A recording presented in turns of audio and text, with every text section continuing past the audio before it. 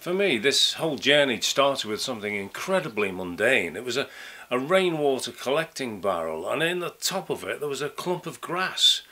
Uh, I pulled this clump of grass away and I was amazed to see really clear water underneath. And I thought, well, how can plants do that? I thought, I'm going to make my own swimming pool.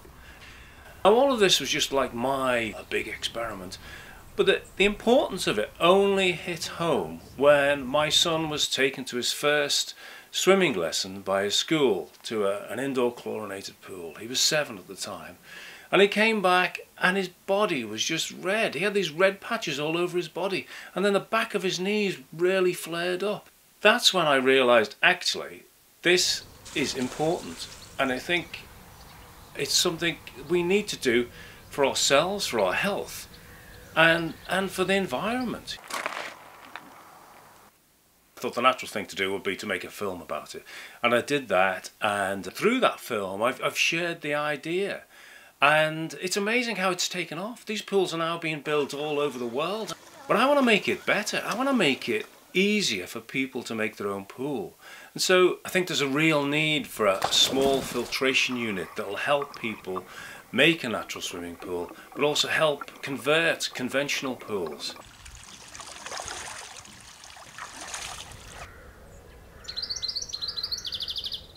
Olive is the first floating biofiltration system designed for natural swimming pools. There are three types of filter working simultaneously a biological filter, a mesh filter, and a vortex. Water is drawn in from the surface of the pool to remove floating debris like pollen and seeds. The spinning vortex separates out particles and sends them to the mesh filter. Cleaned water passes into the biofilter chamber, where billions of beneficial microorganisms remove impurities. Plants can also be grown. Here, water mint has antibiotics in its roots, so helps kill pathogens. It also makes great tea. Olive has no moving or electrical parts, so is ultra safe being powered by air from a remote compressor. One olive can support a medium sized pool. For bigger pools, just drop in another olive. Even a well designed natural swimming pool will have periods of excessive slippery biofilm on submerged surfaces. Olive will inhibit this growth. When building a new pool, Olive provides an easy way to incorporate a multifunctional filter.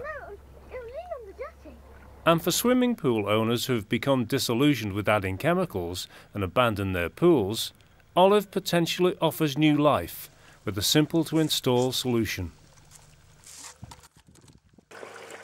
I've been working on this project for about four years now and it's good to see it develop from a box to a bucket to a floating barrel to the object we have now.